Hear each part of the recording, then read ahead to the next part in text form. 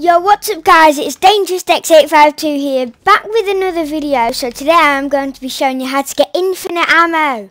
Okay, so what you want to do is head on over to the My Island kind of setting thing.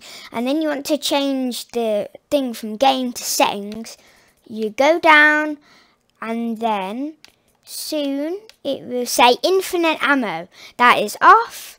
Then you want to turn it on. Unless you don't want infinite ammo. Okay. And now, let's start the game. Let's have a look. See. Boom, infinite. Infinite ammo. Okay guys, thank you for watching the video. And please subscribe, it would mean the word to me. Bye.